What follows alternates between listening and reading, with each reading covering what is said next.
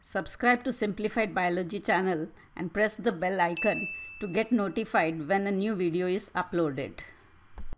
Hello friends, welcome to Simplified Biology.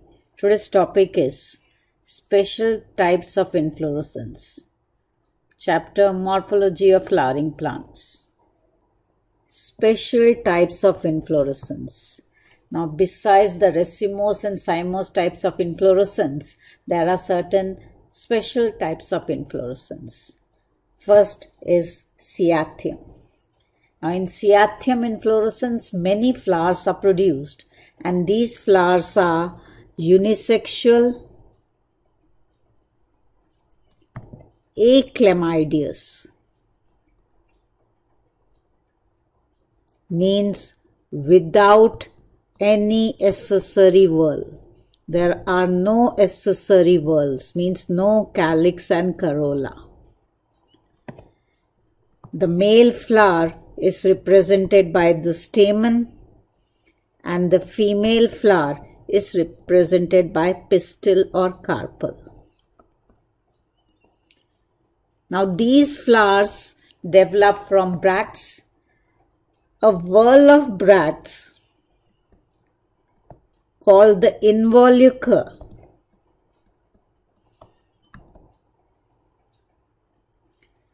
in this case fuses to form a cup shaped structure with an opening in it.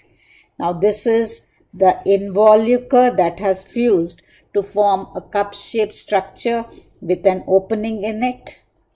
At the center of the involucre develops a single, single long stalked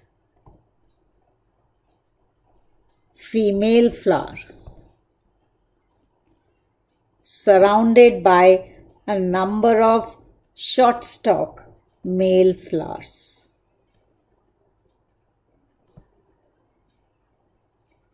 Now, as the female flower matures, it grows and comes out of the cup shaped structure. The male flowers lying just to the female flower, they mature first, while the one lying away, they mature later. So such type of inflorescence is known as cyathium. Now cyathium inflorescence is the characteristic of family Euphorbiaceae. Euphorbiaceae, example Euphorbia and Poinsettia.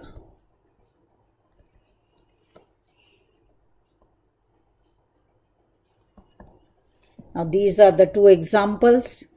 This is the involucre that forms a cup-shaped structure with a single female flower which as it matures comes out of the involucre and surrounding it are a number of male flowers. These are the male flower while single this is the single female flower that has come out of the involucre. Another example, this one is, this is the cyathium, the cup-shaped structure with a single female flower, that is the pistillate flower that grows out of the cup-shaped structure and inside the cup develop are present the male flowers.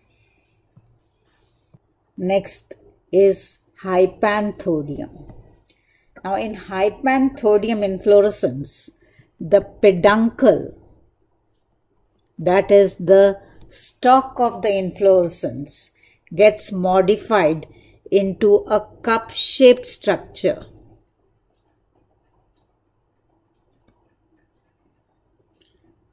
With an opening which has an opening called the ostiole.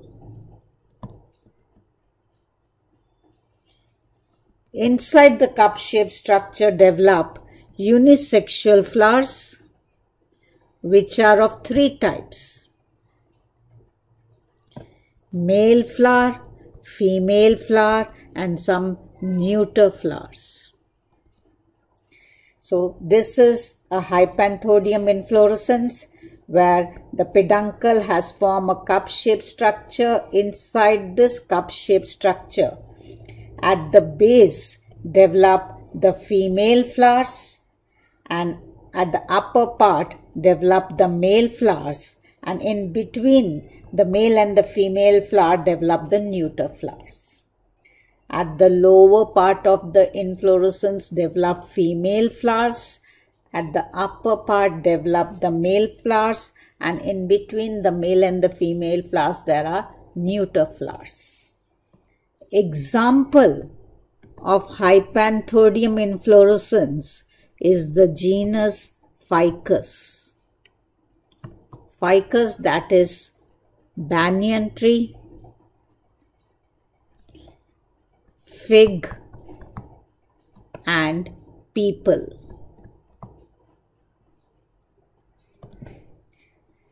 This is the Hypanthodium inflorescence.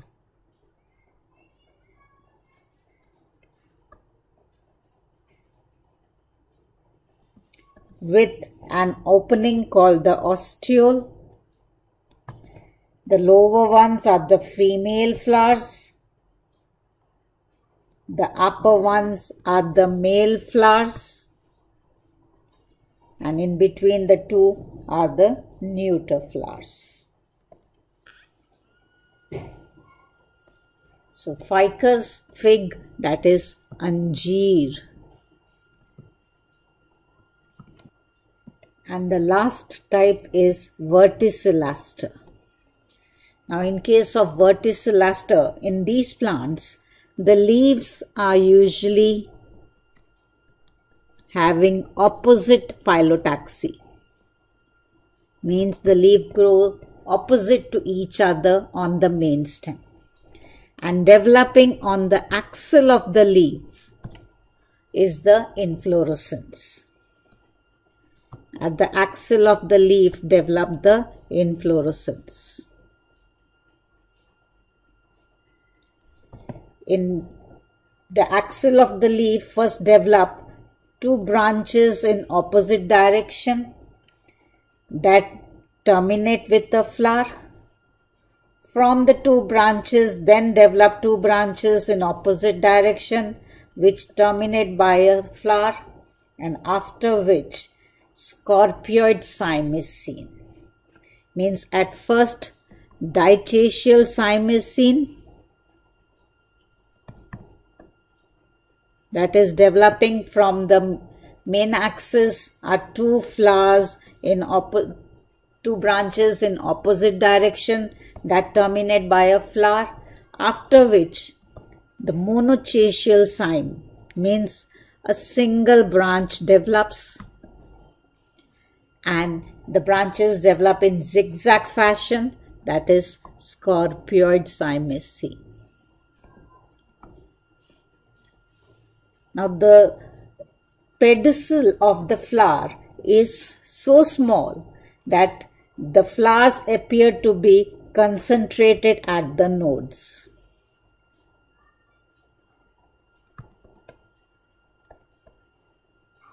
The pedicel of the flowers are so small that the flower appear to be concentrated at the nodes. Verticillaster inflorescence is the characteristic of family Labiatae, the new name of which is Lamiaceae. This is the Ocimum family. Ocimum or the sacred basil or the tulsi family. This is your ocimum that is tulsi and this is leucas.